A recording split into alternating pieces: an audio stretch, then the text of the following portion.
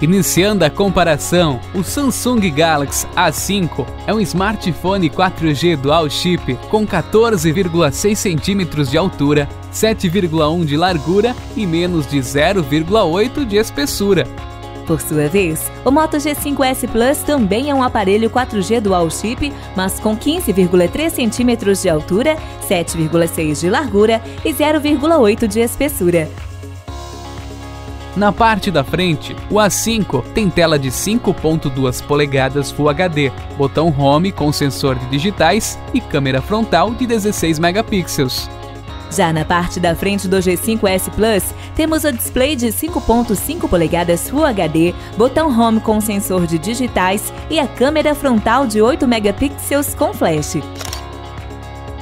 Agora, na parte traseira do A5, vem somente a câmera principal de 16 megapixels com flash. Enquanto isso, a parte traseira do G5S Plus traz a câmera principal dupla de 13 megapixels com dual flash.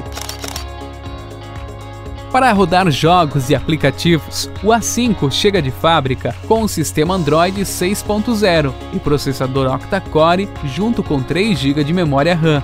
Já o G5S Plus usa Android 7.1 puro e processador octa-core ligado com 3 GB de RAM.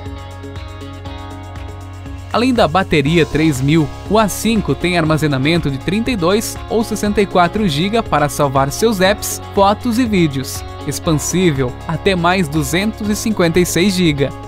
Do outro lado, o G5S Plus conta com bateria 3000 com Turbo Power e com armazenamento de 32 GB, expansível até mais 128 GB com slot híbrido.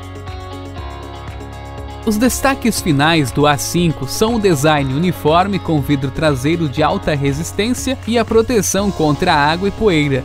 E os destaques finais do G5S Plus são o design com estrutura única em metal e a proteção contra respingos de água. Legal, né? Confira as nossas dicas de aplicativos para os dois celulares. Escreva nos comentários o último preço que você viu para eles e qual dos dois vale mais a pena.